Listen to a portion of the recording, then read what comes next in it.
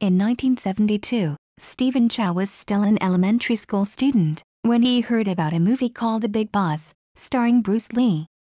It wasn't until he heard that Fist of Fury was an amazing film that he decided to go to the cinema to watch it.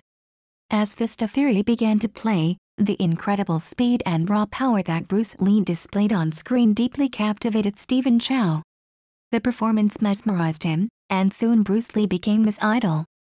Especially when Bruce Lee fought with his nunchaku, Stephen Chow was incredibly excited. He had never seen such a spectacular kung fu performance before, and the weapon itself was something new and eye-opening to him.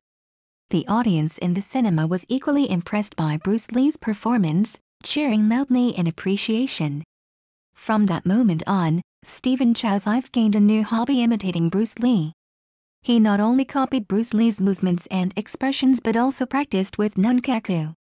Over time, Stephen Chow graduated from the TVB artist training class to become a professional actor, developing his own unique comedic style. Even after becoming a film producer, Stephen Chow never forgot the influence of Bruce Lee.